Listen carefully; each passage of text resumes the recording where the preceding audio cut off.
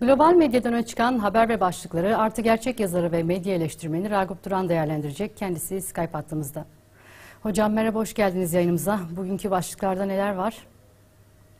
Ebru merhaba. Ben seni ve kendimi göremiyorum ama e, siz görüyorsanız sorun yok. Evet biz görüyoruz. Önce global medyada yaptığım taramada ön plana çıkan konuları söyleyeyim. Ankara'nın Batı dünyası ile ilişkileri halen sorunlu. Amerika Birleşik Devletleri'nde Covid'den 500 bin insan öldü.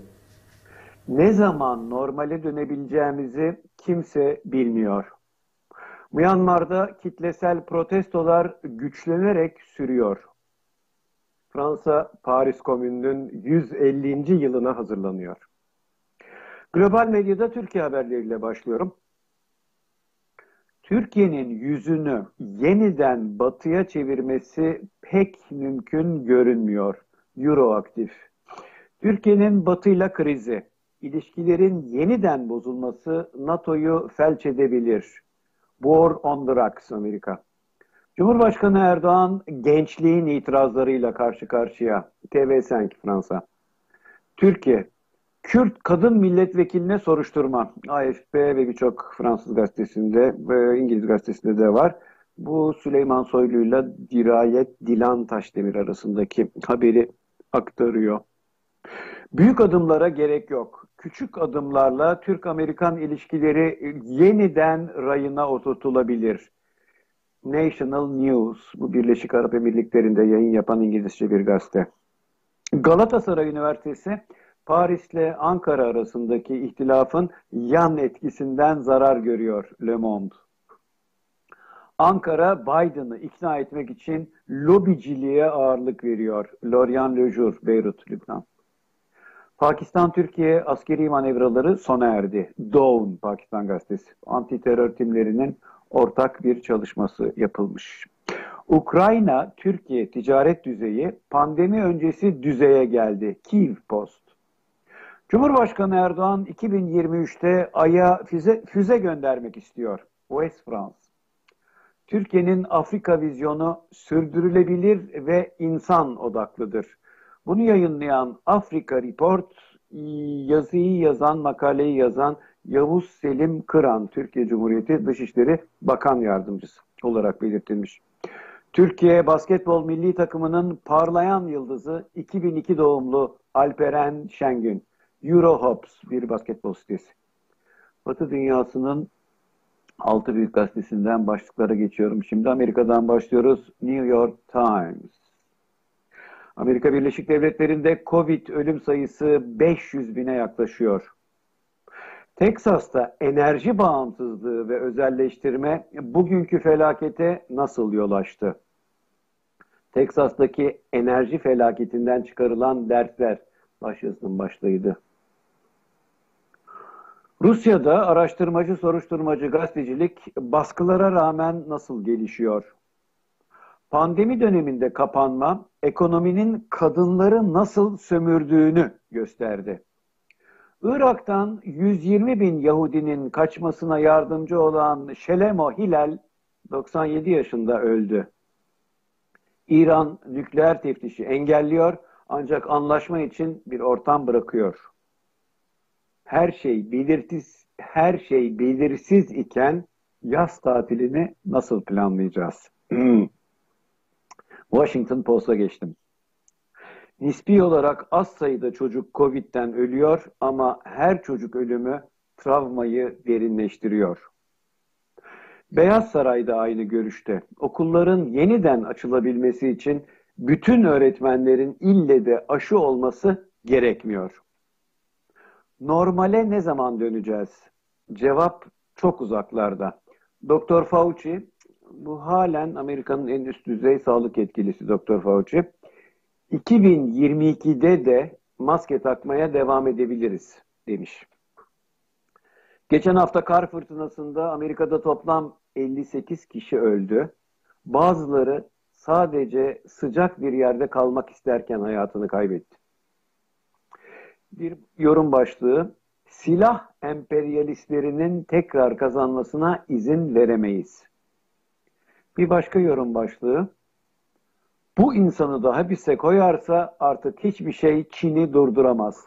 Bu insan dediği Hong Konglu 82 yaşındaki avukat Martin Lee gözaltında. Bazı Teksaslılara fırtınadan sonra 17 bin dolarlık elektrik faturası geldi. Nasıl oluyor bu gariplik? Yüz binlerce yurttaş greve çıkınca Myanmar'da hayat durmuş gibi. Biden, Yemen'deki savaşın son bulmasını isterken asiler stratejik bölgeleri ele geçirmek için acele ediyor. John Travolta, Maine eyaletindeki 20 yatak odalı malikanesini 5 milyon dolara satışa çıkardı. Kaliforniya'ya gittik, Los Angeles Times. Aşırı sağcı üniversite öğrencisi Capitol kalkışmasına katılmaktan yargılanacak. Mülteciler sınır kapılarında, Amerika'nın sınır kapıları, güney, e, sıkıntılı bekleyişlerini sürdürürken Biden'dan umutlular. Los Angeles merkezde koronavirüs vaka ve ölüm sayılarıyla hastanelere girişlerde azalma kaydedildi.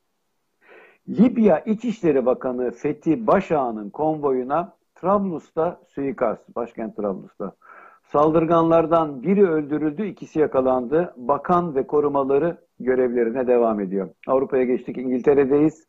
Guardian. Myanmar'da ordu kitlesel protestolara karşı şiddetle karşılık vermeye devam ediyor. İngiltere'nin kapanma sonrası yol haritası belli oldu. Birleşmiş Milletler Genel Sekreteri, Covid döneminde insan haklarına yönelik ihlaller arttı. Antonio Guterres demiş ki, insan hakları ihlali pandemisiyle karşı karşıyayız. Avustralya bu işin nasıl yapılacağını gösterdi. Demokrasiyi yönetmek büyük teknoloji şirketlerinin değil, hükümetlerin görevidir. İran ve İsrail'deki şahinler hemfikir.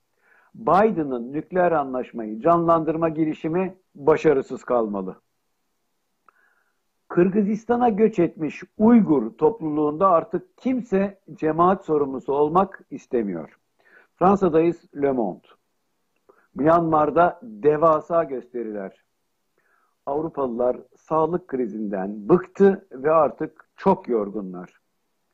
Hükümet Lyon'da çevreci belediyenin okul yemekhanelerindeki etsiz menülerini beğenmedi. Paris Komünü'nün anısı halen büyük ölçüde ihtilaflı. 150. yıl dönümünde gerginlik. Malcolm X'in ailesi cinayetle ilgili yeni bir soruşturma açılmasını talep etti. Amerikalı siyah lider Malcolm X 1965 yılında öldürülmüştü. Alexei Navalny Rus gizli servisinin şahsi düşmanı haline getirildi. Edebiyat gazeteciliği yahut edebi gazetecilik. Bir Fransız tutkusu olan bu tarz bu aralar çok aktif. Brezilya'da aşı kampanyası durdu. Bolsonaro sabotajı. Barış Mahkemesi saptadı. 2002 ila 2008 arasında Kolombiya ordusu 6402 sivil yurttaşı öldürdü. Vladimir Putin'le Rus halkı arasında bugün kala kala coplar kaldı. Bunu yazan felsefeci, Rus felsefeci Kiril Martinov. Fransa'da demokrasi açığı çukuru Macron seçildiğinden bu yana kapanmadı. Son gazetemiz Liberasyon. Myanmar'da beyaz önlülüklüler yani sağlık emekçileri muhalefet cephesinin en önünde. Fransa-İngiltere sınır bölgesi Kale'de çadırları kaldırılan göçmenler. Her gece bir kamyona girmeye çalışıyoruz. Fas. Rejim soruşturmacı gazeteciliği engellemeye çalışıyor. İsrail yazar Amos Oz'un kızı öz yaşam öyküsünde babasını şiddet uygulamak ve sürekli hakaret etmekle itham etti. Ailenin diğer üyeleri itiraz ediyor.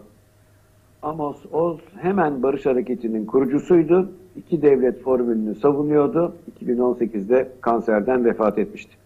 Liberasyon'un bugünkü kapağında Côte d'Azur, Fransa'nın güneyi Nice bölgesi, Côte d'Azur alarm veriyor başlığı kullanılmış. Çünkü bölgede Covid sayıları endişe verici bir şekilde yükseliyor. Ebru, Hocam teşekkür ediyoruz aktardıklarınız için. iyi yayınlar. Teşekkürler.